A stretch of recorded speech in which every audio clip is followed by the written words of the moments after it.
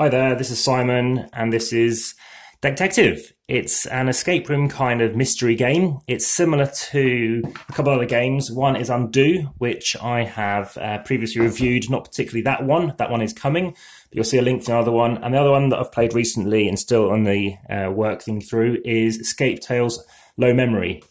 Now I've got cartographers off to the side, which is why I'm actually re-recording this video. And what you do, and I'll be doing it spoiler free, you're going to be taking out the cards. Now, the back of this actually has a thing saying, don't worry, we're not going to spoil it. So you can see the back of it. And the inside front cover, back cover, shows you that Deckscape um, cards are also from this company. I have played uh, Deckscape before, and um, they are, I played the Heist in Venice, which was very good.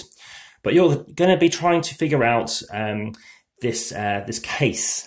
Now, this case is um, kind of predetermined, obviously, based on what's on the deck. But what you're trying to be working out is, um, you know, maybe the motive or the murder or something like that. And one of the first things you do, which makes this game so appealing, is you're going to set up the board. So you're going to take the box, put this inside that. You're going to put the river in here. You're going to be putting in the uh, you're going to have a bridge which does fold completely flat again once it's back in the box which is great.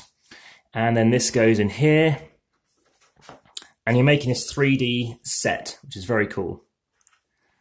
Now in addition to this i was going to say that what's great about this game i find is the fact that it's um, just really um, quite innovative in that respect. So the game is set up and we actually happen to play this outside.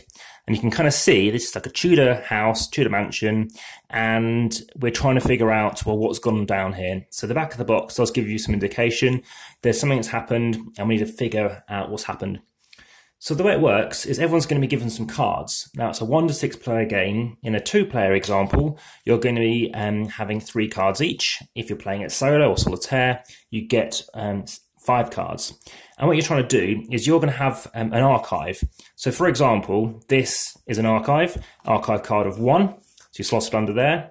And the aim of the game is to basically have the cards between you. You can't look at your colleagues' cards, but what you can do is ask them about the title. So they might tell you that, but you can't see the picture or any other information about it.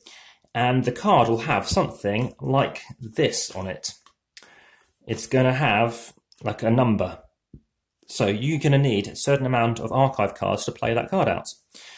If you do have enough, you can play it, but you have to then make the decision of which cards you discard.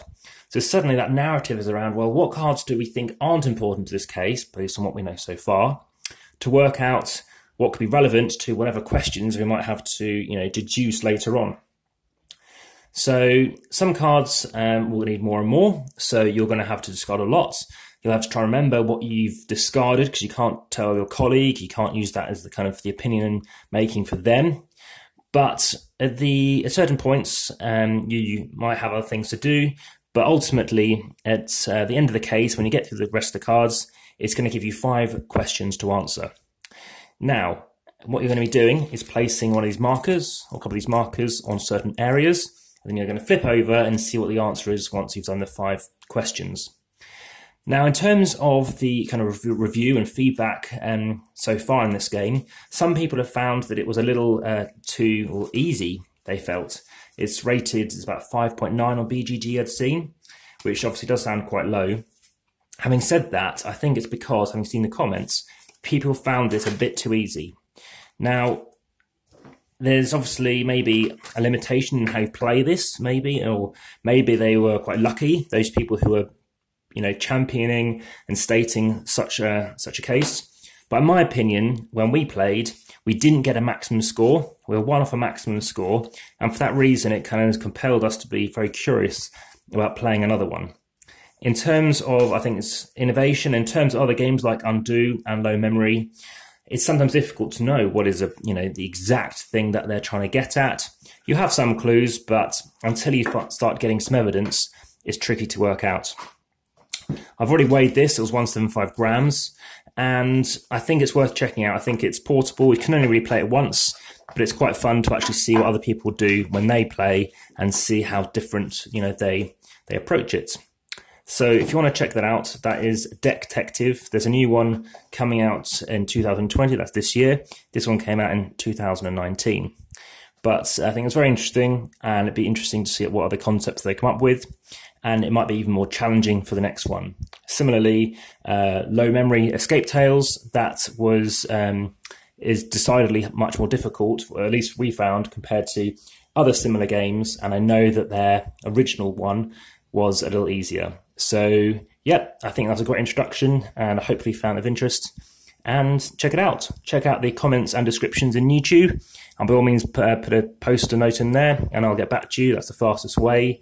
And if you want to see some more videos, such as the other undo ones and other things coming soon, check out that, which it'll be via the subscribe button to get it first.